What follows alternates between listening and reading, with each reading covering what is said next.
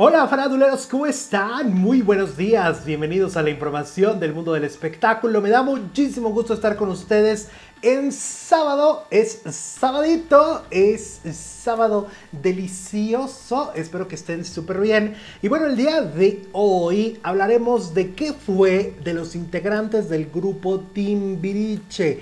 40 años después. ¿Qué ha pasado con ellos? ¿Qué es de sus vidas, de sus carreras? ¿Quién se retiró? ¿Quién siguió? ¿Quién todo? Pues hoy en este video se van a enterar de toda esa información porque además esta semana uno de sus integrantes, ah no, dos de sus integrantes estuvieron envueltos en un mega escándalo. Vamos a empezar con Benny Ibarra. Benny Ibarra estuvo del 82 al 85 en Timbiriche. Después, por supuesto, una carrera como solista, donde lo hemos visto interpretar diferentes temas. Algunos le funcionaron, otros no tanto. Pero interesante en su vida personal, casado desde hace muchos años con Celina del Villar aunque el año pasado destaparon una posible infidelidad con Michelle Álvarez, supuestamente con quien llevaba muchos años teniendo una relación fuera de matrimonio. Tiene dos hijos, María y Mateo, y su más reciente proyecto ha sido una obra de teatro. Sasha Sokol. Ella estuvo del 82 al 86 por supuesto, en los 80 tuvo una carrera como solista muy interesante, una carrera en la que la vimos interpretar canciones como Rueda mi mente y luego ya también su carrera como actriz, en donde estuvo en Alcanzar una estrella por supuesto que la debemos recordar, estuvo en La vida en el espejo, en el Premio Mayor, El País de las Mujeres y ella ha sido una de las que ha impulsado mucho los reencuentros que han tenido. A nivel personal, no tiene hijos y tiene una relación sentimental desde hace varios años con Alejandro Soberón. Mariana Garza. Mariana Garza Estuvo también, por supuesto, en Timbiriche y la recordamos también por, como actriz desde los 80s en telenovelas y luego el gran éxito con Alcanzar una estrella en 1990, por supuesto, en Tenías que ser tú, A Flor de Piel, Alborada, Atrévete a Soñar, Mentir para Vivir.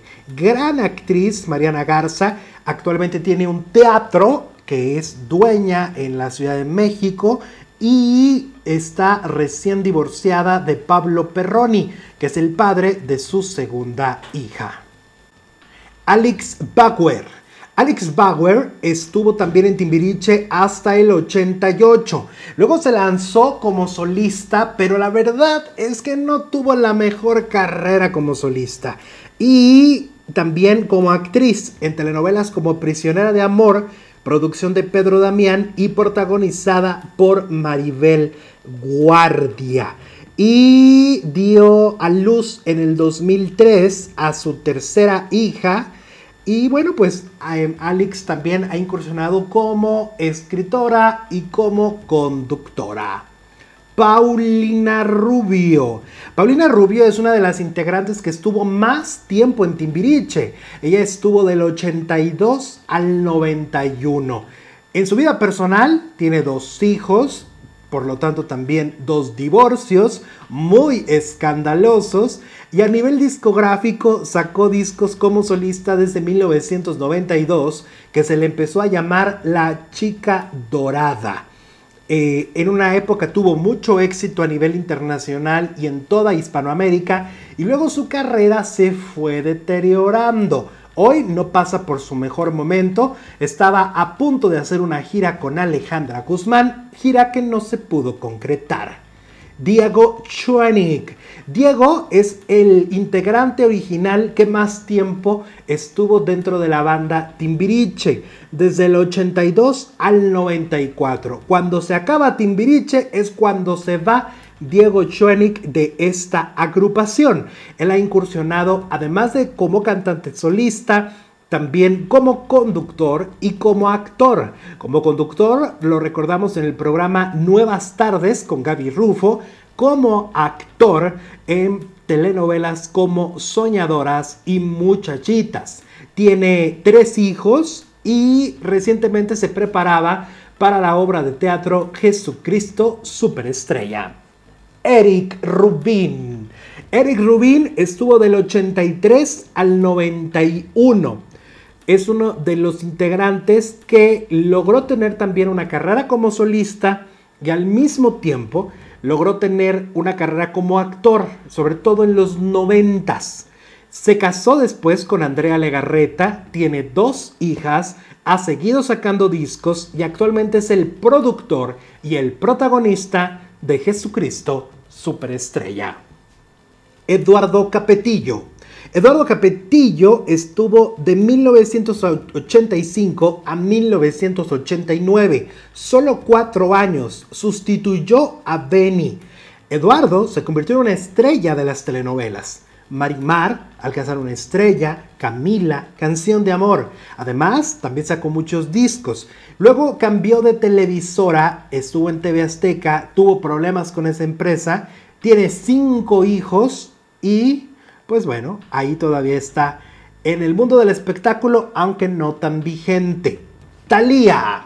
Talía es la gran estrella que dio Timbiriche.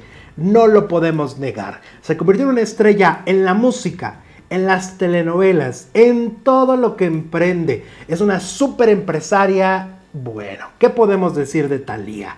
Tiene dos hijos, vive en Estados Unidos, está casada con un multimillonario que es Tommy Motola y ha sacado discos desde 1990 con Thalía eh, su primer disco homónimo, luego Mundo de Cristal, eh, Arrasando, El Sexto Sentido, Hábitame Siempre, primera fila. De verdad es que Talía ha tenido una carrera espectacular. Edith Márquez.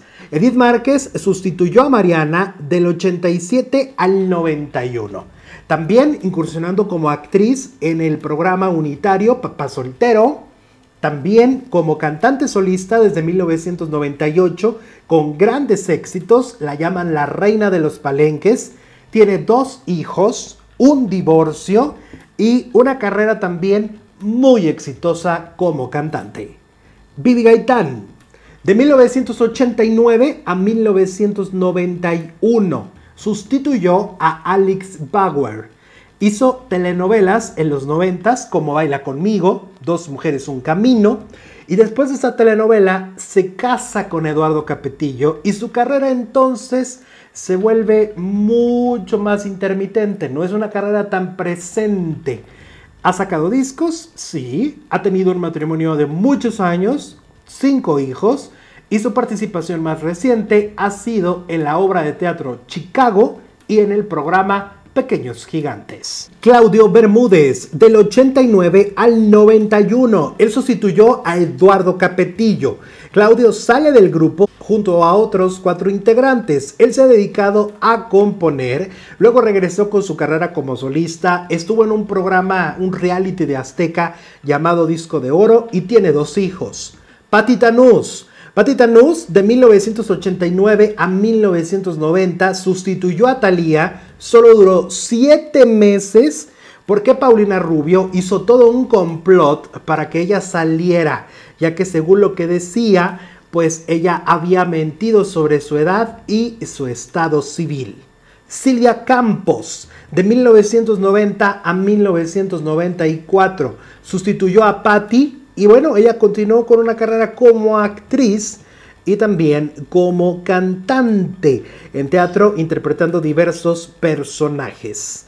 Lorena Chailey. Lorena sustituyó a Paulina de 1991 a 1994. Participó también en telenovelas, pero tampoco ha estado tan presente en el espectáculo.